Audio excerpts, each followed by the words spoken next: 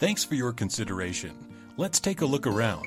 This elegant home features two bedrooms with two bathrooms. For more information or to schedule a showing, contact 770 240 2000.